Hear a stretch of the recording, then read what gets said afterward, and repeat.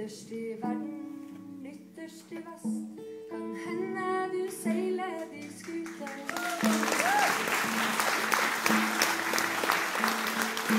Kan hende du seiler tilfeldig som gjest, kan hende du går der ute. Uansett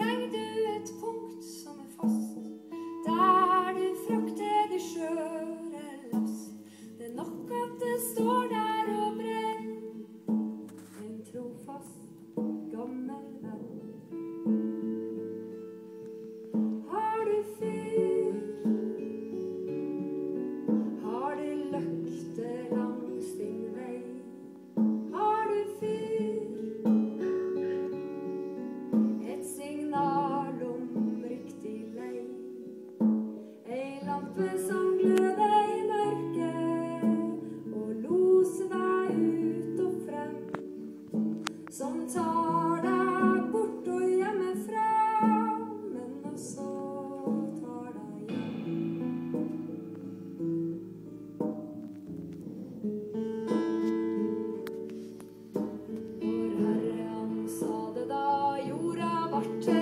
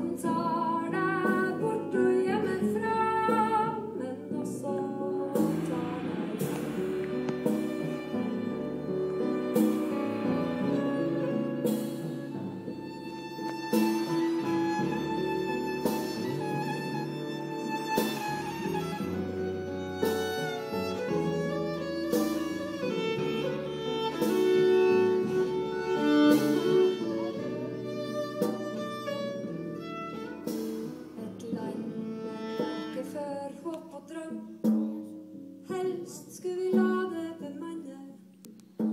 Der skarven flyg, og der seien svøm. Ute på kant